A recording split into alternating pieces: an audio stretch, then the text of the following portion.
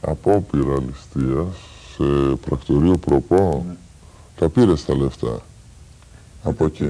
Τι έγινε, κάτι έγινε, εν πάση περιπτώσει και θέλει να ζητήσει δημόσια συγγνώμη. Το λέει μόνος του. Και είναι συγκλονιστική η μαρτυρία του και θέλω να την ακούσεις. Μου. Ναι. Ήταν στη δεύτερη εισαγωγή μου. Εγώ ήθελα ίσα ίσα ένα πεντοχιλιαρό, γιατί μέναμε ακόμα στη Μεσσηνία. Ακουπλώνω, να βγάλω τα εστία για να πάω κάτω. Και θέλω να ζητήσω συγγνώμη στην Μαρία, τη λέγανε εκείνη που είχε το προπό, ότι δεν ήθελα να τη κάνω κακό. Τι έκανες εκεί, Είχα βρει ένα μαχαίρι και είχα πάει για να πάρω ίσα ίσα τα εισιτήριά μου. Μάλιστα. Ήθελα να πω το εξής. Βέβαια, οι αντιδράσεις του Νίκου είναι λίγο δύσκολες και τον φέρνουν και τον ίδιο σε δύσκολη θέση. Απειλεί με μαχαίρια, μετά δεν ξεχωρίζει ο άλλος περί τίνος πρόκειται. Αλλά εγώ θα τον ρωτήσω κάτι άλλο. Γινόταν θεραπεία στο ε, νοσοκομείο που βρισκόσουν, σου κάνανε θεραπεία, μιλούσες με γιατρούς, με ψυχολόγους. Μια φορά το, την εβδομάδα μίλαγα με γιατρό ναι. και μου γιατρός μου είχε γράψει και φάρμακα. Με υπογραφή της κυρίας Ζούσου. Ναι. Μιλούσες με γιατρό. Ναι, μια φορά την εβδομάδα. Ναι. Αυτό είναι θετικό, καταρχήν. Ε, στη συνέχεια, Νίκο, αντιμετώπισες άγριες κατα... καταστάσεις. Ο βιασμός, τον οποίο κατήγγειλες δημόσια και είναι πολύ δυσάρεστο για ένα παιδί να καταγγέλει ότι βιάστηκε από τους νοσοκόμους, είναι ό,τι χειρότερο υπάρχει. Και μόλις τα παιδιά καταγγείλουν, οι άλλοι τα χαρακτηρίζουν μυθομανή, αγαπητέ Γιάννη. Το χειρότερο όμως από όλα το υπέστη πριν από μία ημέρα μετά τις καταγγελίες που έκανε στην εκπομπή μας. Θέλω να πεις τι έπαθες, Νίκο. Μόλις είχε τελειώσει η εκπομπή, ή το γύρισμα δηλαδή, μου το σκόψει, πήγα πάνω στη μάνα μου, κάθισα με εκεί πέρα με την εκπομπή. Μάλιστα η μάνα μου ήθελε να έρθει κάτω, εγώ της είπα να πάρουμε τηλέφωνο να μιλήσετε μαζί και να πούμε πρέπει να έρθει κάτω. Τελικά δεν ήρθε. Και όταν έφυγα την επόμενη μέρα το βράδυ, κατέβηκα κάτω και μου την είχαν στήσει απ' έξω δύο νοσοκόμου που τους γνώριζα και ένα που δεν τον γνώριζα. Αλλά τον είχα δει. Mm -hmm. Θυμάσαι τα ονόματά τους; Τους δύο που τους γνωρίζω ήταν ο Μανώλης Βοβά και ο Δημήτρης Ρακόπουλος που τον είχα αναφέρει που είχε κλείσει την απομόνωση. Εδώ που έγινε το χιόνι. Το σχόλιο σου, Γιάννη. Είναι δύσκολο να κάνει κανείς σχόλιο σε ένα ίδρυμα κοινωνικό, παιδιατρικό και ψυχιατρικό μαζί. Mm. Και να βλέπει αυτές τις καταστάσεις. Εποπτεία υπήρχε από το Διοικητικό Συμβούλιο. Δηλαδή mm. οι κύριοι που μπαίνανε μέσα, οι διευθυντές, οι τμήματάρχες, η κοινωνική λειτουργία, η δουλειά τους ποια ήταν μέσα; Ο Υπουργός τώρα, ο κύριος Κουλάκη, τα ακούει αυτά; Ακούει ποιοι νοσοκόμοι πήγαν έξω από το σπίτι του να τον απειλήσουν. Και μάλιστα ο Δημήτρης Δρακόπουλος δεν έφταιγε. Είχε εντολή από τηλεφωνική εντολή από την κύρια Ρούσου για να μην κλείσει την απομόνωση γυμνό. Ε, έχω ένα μήνυμα που πήρα από τον ε, πρώην Υπουργό Υγείας τη Νέα Δημοκρατίας, τον κύριο Νίκο Αναστασόπουλο, ότι όταν επισκέφθηκε το κλιμάκιο των βουλευτών το ΝΤΑΟ, τους διαμήνυσαν ε, οι γιατροί, το επιστημονικό προσωπικό διαστόματος της κυρίας Ρούσου, ότι οι μέθοδοι αυτοί που χρησιμοποιούν, δηλαδή το να δένουν τα παιδιά, να τα καθυλώνουν, η καθήλωση δηλαδή και η απομόνωση, είναι μέθοδοι που τις αποδέχεται η ψυχιατρική επιστήμη σήμερα. Εκείνος έμεινε άναυδος, μου ζήτησε να το μεταφέρω. Ναι, επισήμως, Γιάννη Παπαδόπουλε. Αυτό συμβαίνει. Και βέβαια τρέπονται αυτοί οι άνθρωποι να έρθουν εδώ να τα πούν δημόσια και κλεισμένων των θυρών γίνονται όλα αυτά τα σχόλια. Νίκο, θέλω να σε ευχαριστήσω και να ξέρεις ότι είμαστε κοντά σου. Να μεταφέρω επίσης στους τηλεθεατές ε, και σε όσους ενδιαφέρονται ότι το είπε δημόσιο ο Νίκος. Αγάπη του λείπει, στοργή δική του, το σπίτι του, οι γονείς του και πολύ περισσότερο μία δουλειά. Γιατί θέλει να επιστρέψει στην ε, κοινωνία και ξέρει πότε γνωρίζει να ζητάει συγγνώμη. Σε αντίθεση λοιπόν όλων αυτών των φαινομένων και της συμπεριφοράς, της υπόθαλψης και της σιωπής, εμείς ξαναπέζουμε ένα τμήμα αυτού του ντοκουμέντου που έχουμε στα χέρια μας, γιατί δεν υπάρχει περίπτωση να κάνουμε ούτε ένα βήμα πίσω. Παιδοψυχιατρικό νοσοκομείο Αττικής. Εδώ χρόνος σταματάει. Κολαστήριο ψυχών εγκαταλελειμμένων στην τύχη τους. Ψυχών παιδικών, που αναζητούν στο πέλαγος της αδιαφορίας και της εγκατάλειψης τα απομεινάρια της ανθρώπινης θαλπορής. Στο κατόφλι του 21ου αιώνα ανακαλύπτουμε τον Μεσαίωνα. Νταού Πεντέλης, στα όρια της Αττικής Γης. Ρεπορτάζ σοκ. Να το αφήσουμε αμοντάριστο ή να το ντύσουμε. Κι αν ντύσεις τόσες ψυχές, Πώς να σκεπάσεις την τροπή και την αδιαφορία; Η Ελλάδα της Ευρωπαϊκής Ένωσης των προγραμμάτων και των επιδοτήσεων, τόνοι γραφειοκρατίας ανεπαρκής να κουκουλώσουν την ένδια. Η πραγματικότητα μπροστά στο φακό εφιαλτική. Εδώ είναι όλα γυμνά. Γυμνή τύχη, γυμνά κρεβάτια, γυμνό πάτωμα, γυμνοί διάδρομοι που οδηγούν στο πουθενά. Παιδιά γυμνά, ολόγυμνα, εγκαταλελειμμένα, που τα τιμώρησε περισσότερο η ανθρώπινη συμπεριφορά από την ίδια τη φύση. Φέρτε τα ευρωπαϊκά προγράμματα να σκεπάσουμε αυτή την τροπή.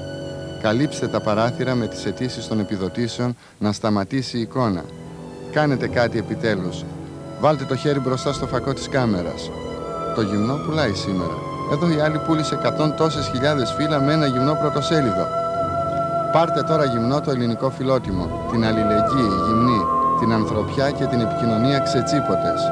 Εδώ να δείτε πρωτοσέλιδα. Λέτε να παρέμβει ο εισαγγελέας.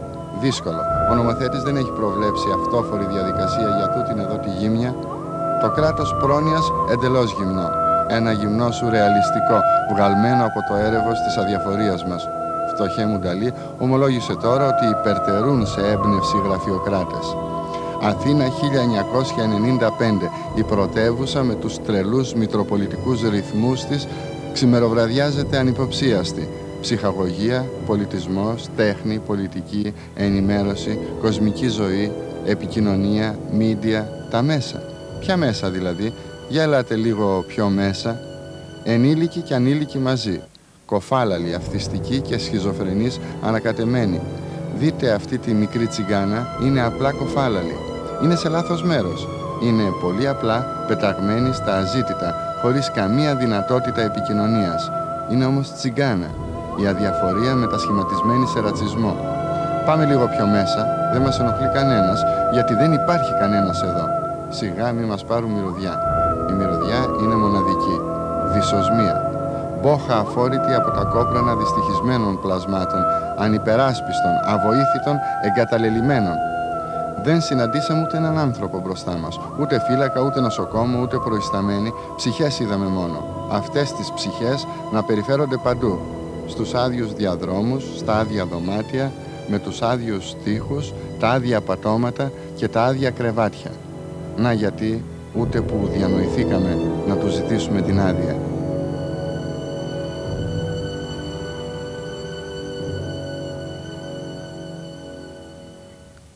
Θέλω να πω ότι αναμφισβήτητα αποτελεί όχι μόνο ρατσισμό, αλλά είναι φασιστική μέθοδος να συμπεριφέρεσαι έτσι σε άτομα με ειδικές ανάγκες, όταν αυτά είναι εντελώς ανυπεράσπιστα και από τους δικούς τους και από τον εαυτό τους, αλλά και από τον ίδιο τον νόμο. Δυστυχώς βλέποντας όλη αυτή τη Τζιμεντούπολη κάποια στιγμή στο προηγούμενο ρεπορτάζ, είδα τη Σαχάρα μπροστά μου. Είδα δηλαδή, Γιάννη Παπαδόπουλε, ένα χάος. Και εδώ αναρωτιέμαι αν πρέπει να καλούμε συνεχώς να απαντήσει ο Υπουργός, ο Υφυπουργός, οι αρμόδιοι, ή αν θα πρέπει εμείς να απαντήσουμε. Δηλαδή, αν η παρέμβαση πρέπει να είναι κοινωνική, εφόσον δεν υπάρχει και δεν υπάρχει πολιτική βούληση. Γιατί εγώ δεν μπορώ να καταλάβω τι σημαίνει πολιτική βούληση. Μα δεν έχουν όταν λόμπι. δεν εφαρμόζεται τίποτα. Τα παιδιά αυτά δεν έχουν λόμπι. Έχει βιομηχανία, η φαρμακοβιομηχανία, οι γιατροί έχουν λόμπι, περιορισμένο ίσως. Τα παιδιά αυτά δεν έχουν λόμπι. Οι εικόνες μου θύμισαν Πολωνία μετά την κατάρρευση του Ανατολικού Μπλοκ, ναι, ναι. ακριβώς τα ιδρύματα τα πολωνικά και χειρότερα μπορώ να πω και δεν νομίζω ότι μπορεί κανείς να μείνει αδιάφορος πλέον μετά από αυτή την εκπομπή στην ελληνική κοινωνία. Θέλω να σου θέσω ένα ερώτημα. Βέβαια εσύ χαρακτηρίζεσαι από τους εντυμότατους αυτούς τους κύριους ιδιόρυθμος. Αλλά εάν διοριζόσουν σε αυτό το ίδρυμα ως επιστήμονας, γιατρός, τι θα έκανες; Δεν θα ήθελα να απαντήσω σε αυτό. Γιατί αν διοριζόμουν θα έπρεπε να δω την κατάσταση. Δεν θέλω να πω, ξέρεις, εγώ θα, θα τα έκανα όλα καλύτερα. Όχι, τι, παρετήσαι ή παραμένεις; Ε, εάν έβλεπα. Καταγγέλεις ή σιωπάς; Καταρχήν, οπωσδήποτε καταγγέλεις και οπωσδήποτε λες: Εάν δεν έχω εγγύσει βελτίωσης, φεύγω. Λοιπόν, όσοι κατήγγυλαν έφαγαν δυσμενή μετάθεση. Όσοι μίλησαν, εκφοβίστηκαν. Ταπεινώθηκαν. Και θα τα δούμε αυτά σε λίγο. Είναι μέθοδος της ελληνικής κοινωνίας σήμερα και αυτό είναι μία έκφραση της διάβρωσης όλων των στρωμάτων και επιπέδων δραστηριοτήτων της ελληνικής κοινωνίας. Αυτό δεν είναι μεμονωμένο γεγονός. Μόνο η αποσιώπηση αυτών των γεγονότων, στα οποία δεν μπορεί κανείς να μείνει συγκίνητος, από όλο τον τύπο, όλα τα ραδιόφωνα, ε, τον ιατρικό σύλλογο, η Αρχιεπισκοπή σου τηλεφώνησε, η και Εκκλησία όταν, κανένας. Και όταν λέμε αποσιώπηση, δεν σημαίνει ότι έκανες ένα τρίστιλο και καθάρισες. Έτσι. Δεν μπορεί να κάνεις ε, πρωτοσέλιδα όλη τη χειδεότητα, Έτσι είναι ακριβώς. όλη την, ε, ό, τα πιο ασήμαντα πράγματα και να παραμείνει ασυγκίνητος μπροστά σε αυτό το, το συγκεκριμένο πράγμα που είναι. ο- Δηλαδή είναι υβριστικό για όλους μας. Να περάσουμε στην Ηρώ. Να πάμε στην Ηρώ, μια αποκλειστική νοσοκόμα, να αρχίσουν τώρα οι καταγγελίες των άλλων όσων έζησαν αυτά τα κολαστήρια, εφόσον κάποιοι κύριοι εκεί μέσα τόλμησαν να πούν ότι δεν είμαστε αντικειμενικοί, ότι το ρεπορτάζ μας είναι προϊόν μοντάζ. Πάμε να δούμε τι λέει η Ηρώ. συνάντησα μία απονιά και μία διαφορία στα πλάσματα αυτά. Από πού να αρχίσω, από τη βρωμιά, από την πείνα, πού να αρχίσω, από την απλησία, τις κακοποιήσεις, πού να αρχίσω; Είδα τα παιδάκια κάτω πεταμένα. Πήγα σε ένα δωμάτιο. Μη- Δύο μέρες πήγα νυχτερινή, δύο μέρες πήγα πρωί. Τα παιδάκια ήταν πεταμένα κάτω. Κάτω ε, δεν μπορούσα ούτε να ήθελα να βοηθήσω, ήθελα να κάνω κάτι. Ήμουν σε ένα δωμάτιο μόνη μου με τρία-τέσσερα παιδιά. Δεν μπορούσα να κάνω τίποτα. Πήγαινα να τα σηκώσω, ήταν κάτω στο πάτωμα, λερωμένα μέχρι τις πλατίτσες, φωνάζανε, ουρλιάζανε. Πήγαινα, ζήταγα σεντόνι για το δικό μου το παιδί το οποίο ήμουνα νοσ, ε, νοσηλεία και μου λέγανε έλα αύριο. Οι προϊστάμενοι, πρωί. οι προϊστάμενοι του τμήματος αυτά. Οι αδελφές. Έλα αύριο το πρωί. Εγώ τι να κάνω, πώς να το πλύνω το παιδί; Βρήκα κι εγώ μία πετσέτα εκεί, πεταμένη, την πήρα, την έβριξα σε μία άκρη και το όπλυνα ο Θεός να το κάνει πλήσιμο. Δεν ήταν πλήσιμο αυτό. Τα παιδιά τρώγανε καλά; Τα παιδιά όχι. Δεν νομίζω ότι τρώγανε καλά. Τις τέσσερις μέρες που ήμουνα εγώ, δύο μέρες ήταν οι φακές και η, τέ- η τέταρτη μέρα που ήταν να φύγω, ότι ε, πήγα Παρασκευή, Σαββάτο, Κυριακή, τη Δευτέρα το πρωί στις 10 η ώρα έφυγα. Ε, τρώγανε ριζάκι με λίγο διαλυμένο κιμά. Και τα είχαν κάτω και τους δίνανε τα πιάτα, κάτω όπως ήτανε, και περάνε τα παιδάκια με το, με το χέρι και τρώγανε. Χούφτες. Διακρίνω αγανάκτηση και θυμό. Βεβαίως, γιατί δεν είχα συνειδητοποιήσει πού βρισκόμουν, δεν ήξερα πού βρισκόμουν, δεν ήξερα πού ήμουν. Η κουβέντα τους ήταν πήγα και ζήταγα σεντόνια, και όταν είδα δύο παιδάκια και χτυπιόντουσαν σε μία γωνία, και τους λέω: Ελάτε για όνομα του Θεού, ελάτε να βοηθήσετε. Μου είπανε να μην είσαι τόσο ευαίσθητη. Για το επάγγελμα που κάνεις δεν πρέπει να είσαι ευαίσθητη. Να σκληρύνεις την καρδιά σου όσο μπορείς, να την κάνεις πέτρα και να δουλεύεις. Πώς εσείς μπορείτε να χαρακτηρίσετε τη συμπεριφορά αυτών των ανθρώπων; Εγώ δεν έχω να πω τίποτε πολλά. Το μόνο που έχω να πω και λυπάμαι πάρα πολύ εάν είναι μάνες αυτές οι αδελφές που είναι μέσα αν είναι μάνες, έχουν παιδιά, οπωσδήποτε θα έχουν παιδιά, να κάνουν το σταυρό τους, να μην τα ρίξει η μοίρα έτσι. Γιατί δεν ξέρουμε κανένας πού θα βρεθούμε. Απίστευτο δεν είναι; Μια αποκλειστική νοσοκόμα που έχει συνηθίσει στον πόνο, σε αυτές τις σκηνές, κάνει μια επίκληση τραγική ενώπιον σας, αν είναι μάνες. Αν μπορούν δηλαδή να συμπεριφερθούν ανθρώπινα. Και η απάντησή τους είναι να μην είσαι τόσο σκληρή. Πόρωση που λέει και η διαφήμιση. Το ακούτε κύριε Παπαδόπουλο. Το συγκλονιστικότερο ήταν αυτό που είπε η κυρία με τις μάνες. Πράγματι υπάρχουν μάνες εκεί στο προσωπικό που έχουν παιδιά και αφήνανε αυτή την κατάσταση έτσι; Μα νομίζω ότι πρέπει να αφαιρεθεί το δικαίωμα να ανατρέφουν τα παιδιά τους. Πα- πα- παρόλο που φαίνεται σκληρό. Μου κάνει εντύπωση ότι η πολιτεία βάζει αμέτρητους φραγμούς όταν θες να υιοθετήσεις ένα παιδάκι. Αν είσαι καλός, αν έχεις χρήματα, αν η οικογένεια λειτουργεί και δεν βάνει κανένα φραγμό σε αυτή την απίστευτη κατάσταση σε αυτά τα ιδρύματα. Οι καταγγελίες καλύπτουν όλο το φάσμα από το 1974 μέχρι σήμερα. Μέχρι σήμερα. Και είναι σημαντικό αυτό. Είναι σημαντικό, Είναι κυρίες και σημαντικό. κύριοι, για ένα απλούστο λόγο. Για να διαπιστώσετε ότι από τότε μέχρι σήμερα, από τη μεταπολίτευση δηλαδή, δεν άλλαξε τίποτα. Το ίδιο και πιο άγρια φυσικά ήταν τα πράγματα νωρίτερα και στη δεκαετία του 60. Πάμε λοιπόν τώρα στον Παναγιώτη Ζωντανό. Ο Παναγιώτης Ζωντανός πήγε εκεί το παιδί του σε ηλικία 12 ετών. Οι γιατροί του συνέστησαν και οι υπεύθυνοι να μην εμφανιστεί, δεν έπρεπε, δεν, έ- δεν έπρεπε να εμφανιστεί καθόλου για να συνηθίσει το παιδί να ζει εκεί μέσα. Και όταν ο πατέρας τόλμησε να πάει την ημέρα των ε, γενεθλίων του, παρακολουθήστε τη συνάντηση. Κύριε Ζωντανέ, πήγατε το παιδί σας στον Ταού του 1983, σε ηλικία 12 ετών. Μάλιστα. Από Έχω εκεί και μια πέρα. εμπειρία πολύ θλιβερή από αυτή την εποχή, την οποία θα ήθελα να σας πω. Μου την ε, ξαναθύμισε η εκπομπή σας και έρχονται ξανά στη μνήμη μου αυτές οι στιγμές. Το παιδί μου έχει ψυχοπαθολογικές διαταραχές και το 1983 είχε μια έξαρση της ε, συμπεριφοράς του εκείνο τον καιρό που κυρίως εστρέφεται κατά του αδελφού του. Μας είπαν λοιπόν ότι στον Ταού Πεντέλης ο κύριος Παπαθομόπουλος, ο οποίος είναι ψυχίατρος, θέτει σε εφαρμογή, θέτει σε εφαρμογή ένα πρόγραμμα ευρωπαϊκών προδιαγραφών σε μια πτέρυγα εκεί του Ταού Πεντέλης, σε ένα οίκημα και το παιδί εκεί θα έχει και θέατρο, θα έχει και σχολείο, θα περάσει πολύ ωραία, είναι πολύ μοντέρνο και καθαρό το περιβάλλον και αυτά. Πήγαμε στο Ταού Πεντέλης, είδαμε βέβαια εκεί το θλιβερό θέαμα των παιδιών, των εγκαταλελειμμένων και θα σας πω παρακάτω τι συμβαίνει. Εκείνο το θλιβερό πρόσωπο, εκείνο το, τη θλιμμένη, τη θανατερή ας πούμε εικόνα, χωρίς χαρά. Παιδιά χωρίς χαρά, είναι κάτι το τρομερό δηλαδή. Αλλά το περιβάλλον πράγματι ήταν πολύ καλό.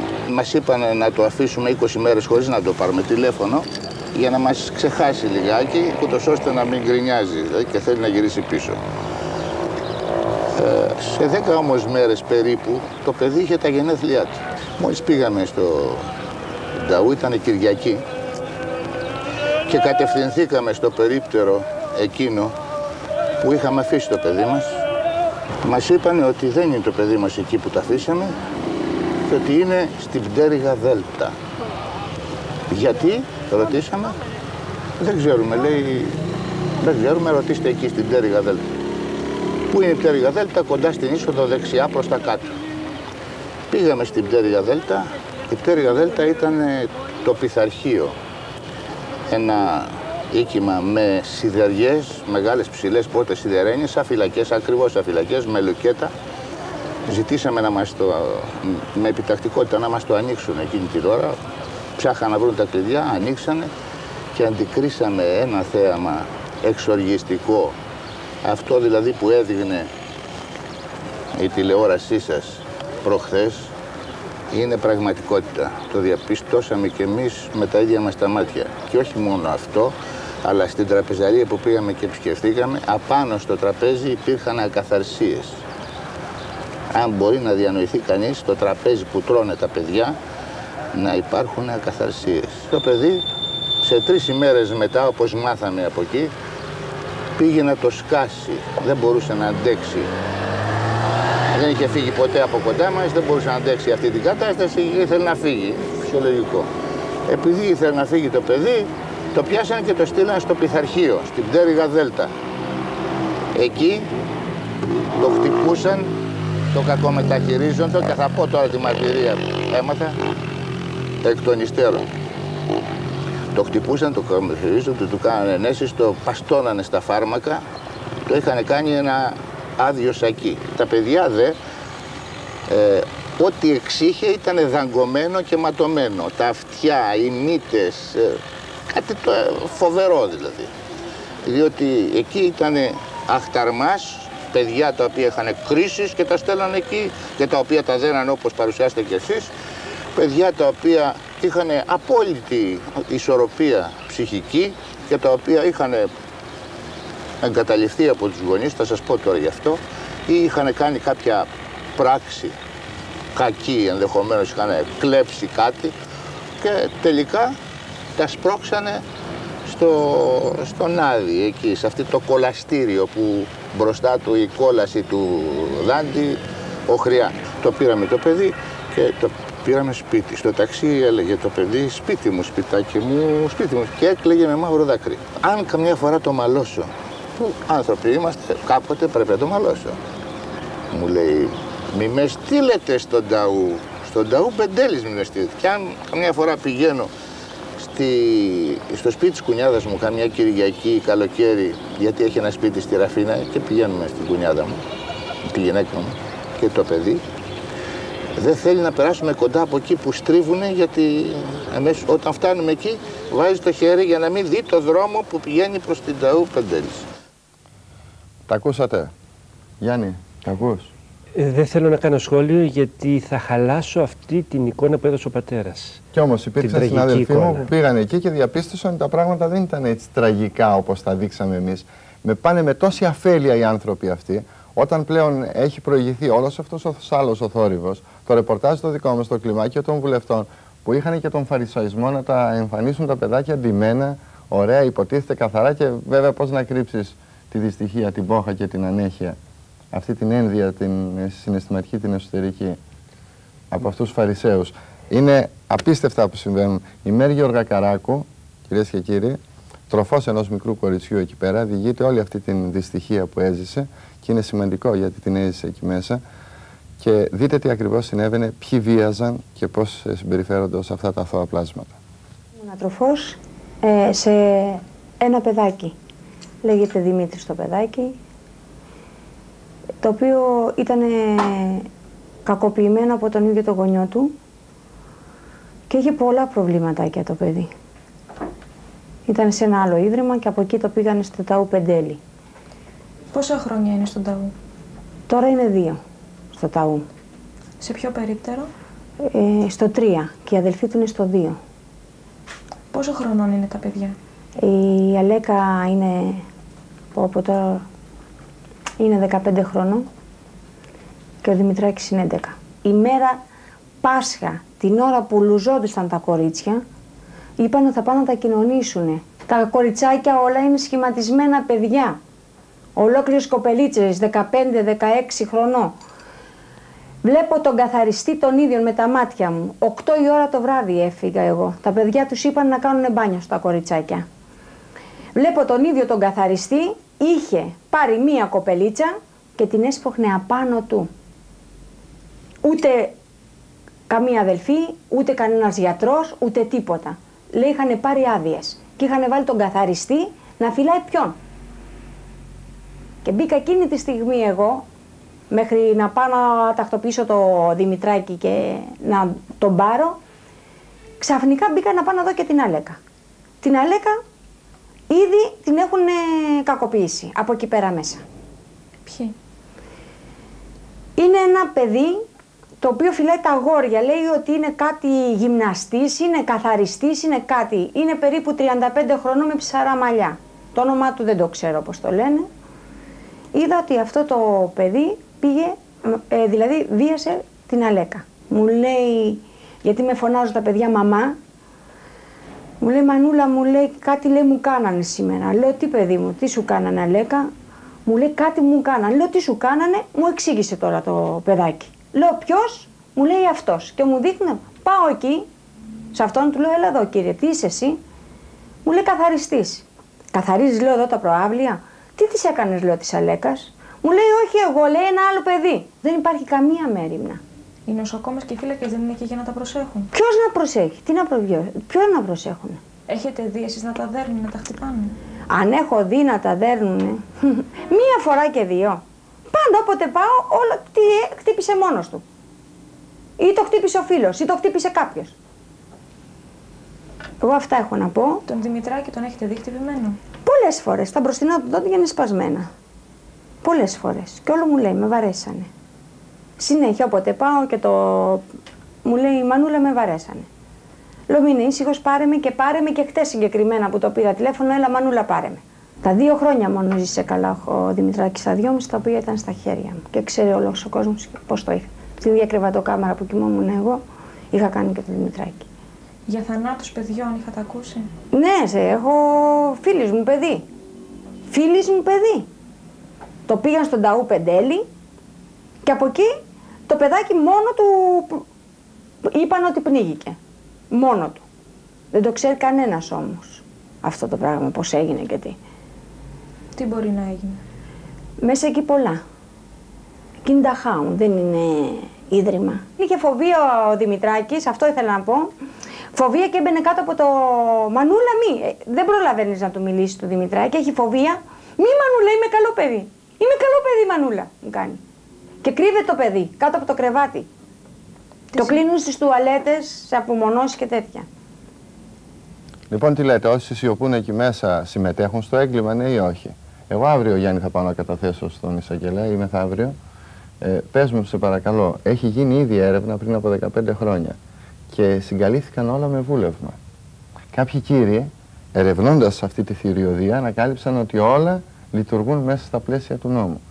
Α καλέσω κοντά μου την κυρία Ζακίνθινου, που εργάστηκε ως. Ε, εθελοντικά εργαστήκατε εκεί μέσα, κυρία Ζακίνθινου. Ελάτε, περάστε κοντά μας, καλώς ήρθατε. Καθίστε εδώ, σας παρακαλώ να διηγηθείτε τις θηριωδίες που ζήσατε, ό,τι αντικρίσατε εκεί μέσα και μετράει διπλά η, η μαρτυρία σας, ε, διότι πήγατε εθελοντικά εκεί. Δεν είχατε ίδιο συμφέρον. Πώς καταλήξατε σε αυτό το ίδρυμα, γιατί πήγατε εκεί; Ε, γνώρισα μια Γερμανίδα σε μια φιλική συγκέντρωση, ηλικιωμένη, ε, επειδή ξέρω ότι έχω κάποιες ευαισθησίες ε, όσον αφορά στα αδύναμα πλάσματα, Ναι. που θα κάνω και μια μικρή επισήμανση στον κύριο Παπαδόπουλο, παρέλειψε να αναφέρει τα ζώα στους αδυνάμους. Είμαι και ζωόφιλη και στην Ελλάδα και τα ζώα δεν αγαπούμε. Λυπάμαι που το λέω, αλλά είναι αλήθεια. Για πείτε μας Ε, λοιπόν η τι κυρία έγινε αυτή εκεί; λοιπόν ε, μου με παρότρινε να βοηθήσω ενθελοντικά αν έχω κάποιο χρόνο διαθέσιμο. Χρόνο δεν έχω βεβαίως γιατί έχω τρία παιδιά, αλλά έχω διάθεση και αγάπη. Και βρέθηκα στο Νταού Πεντέλης, όπου αρχικά πήγα και γνώρισα ένα κοριτσάκι, τη Βιβί, μέσα στο νοσοκομείο. Από εκεί ξεκίνησε δηλαδή, από την υπιότερη έκφανση του Ιδρύματος, που είναι το νοσοκομείο. Το νοσοκομείο είναι ένας χώρος, όπως όλα τα νοσοκομεία, με αρρώστους, με παιδάκια κτλ. Και το παιδάκι αυτό νοσηλεύτηκε εκεί, αλλά μίλησα με κάποιους γιατρούς, οι οποίοι μου είπαν ότι το παιδί δεν χρειάζεται να είναι στο νοσοκομείο ακόμη και το κρατούν για να μην το επιστρέψουν, επιλέξει, επαναλαμβάνω τα λόγια γιατί έμειναν στη μνήμη μου. Είναι το παιδί που έχω εδώ σε αυτό το δημοσίευμα της Για να μην το ελευθεροτυπίας επιστρέψουν στον Ταχάο. Εκείνη την εποχή να Επομένως, οι πλησιάσει η γιατροί το κάμερα, γνώριζαν, κύριε παρακαλώ. Παπαδόπουλε. Ας το πάρει η κάμερα που είναι Το απέναντί μου, γνώριζαν πολύ συνεχίστε καλά, εσείς. Το, Είναι η το Βιβί. χώρο αυτόν. Και τε- μετά όταν η Βιβί μεταφέρθηκε στο χώρο που νοσηλεύονται είναι ένα πράγμα, ένα συνοθήλευμα ας πούμε, παιδιών, γιατί μόνο έτσι μπορώ, ίσως είναι αδόκιμος όρος, αλλά μόνο έτσι μπορώ να χαρακτηρίσω το ότι παιδιά τα οποία δεν έχουν καμία νοητική λειτουργία, ε, δηλαδή είναι εξαπλωμένα εντελώς ακίνητα και απλώς αναπνέουν και χτυπάει η καρδιά τους, με παιδιά τα οποία ουρλιάζουν από το πρωί ως το βράδυ, ε, που πεινάνε, που ζητάνε νερό, που το μυαλό τους πότε λειτουργεί, πότε βρίσκεται σε μια κατάσταση λανθάνουσα, εν πάση περιπτώσει, ε, μαζί με παιδάκια που επειδή τα ποδαράκια τους ή τα χεράκια τους είναι ατροφικά ή γιατί έκαναν κάποιο κακό πράγμα και θεώρησε καλό η πολιτεία να τα εγκλωβίσει μέσα σε αυτό το ίδρυμα, σε αυτό το χώρο, Τις αγριότητες τις διαπιστώσετε ναι, εσείς. τη διαπίστωσα. Ε, εκεί ε, ζουν όλα αυτά τα παιδιά μαζί. Δηλαδή, πώς βιώνουν τα παιδιά τα οποία έχουν εγκέφαλο ε, που λειτουργεί κανονικά, όπως ο εγκέφαλος των δικών μου των παιδιών. Γιατί η Βιβί ήταν ένα κοριτσάκι το οποίο ήταν όπως το κοριτσάκι το δικό μου, μόνο που δεν μπορούσε να περπατήσει. Είχε ατροφικά ποδαράκια. Ήταν όμως ένα παιδί, ειλικρινά, σαν την κόρη μου, μόνο που ήταν δύο χρόνια μεγαλύτερη. Και ήταν και πάρα πολύ όμορφη. Και ζούσε αυτό το παιδί μέσα στα παιδιά και αυτό και κάποια άλλα παιδάκια. Θυμάμαι την Τίνα, τη Μαρία, τον Γιώργο, ε, τον Μιχάλη που πότε ήταν στις καλές του και πότε δεν ήταν, τον Αντώνη. Ε, εν πάση περιπτώσει αυτά τα παιδιά είχαν, μερικά από αυτά είχαν εγκέφαλο σωστό, λειτουργίες σωστές, άλλα δεν είχαν, αλλά ζούσαν όλα μαζί. Και αυτό Κυρία το- ένα Δακινθινού. παιδί, μισό λεπτό να σας πω κύριε Τριανταφυλόπουλη, προηγουμένως συνάντησα το, το γιο σας. Ε, και πραγματικά συγκινήθηκα και σας ρωτάω, εσείς και εσείς κύριε Παπαδόπουλε, να μου πείτε, ένα παιδί σαν τον Κώστα, θα μπορούσε, πόσο μπο- καιρό θα μπορούσε να ζήσει μέσα σε αυτό το ίδρυμα, Χωρίς να συλλοποιηθεί. χωρίς να τρελαθεί. Βέβαια. Γιατί εγώ κόντεψα να τρελαθώ. που πήγαινα λίγες ώρες την εβδομάδα. Ε, επικρατούσε πανικός εκεί μέσα τρομοκρατία, γιατί μου είπατε ότι επικρατούσε καθεστώς τρόμου. Καθεστώς τρόμου επικρατούσε όσον αφορά στο ότι δεν μπορούσαμε να μιλήσουμε.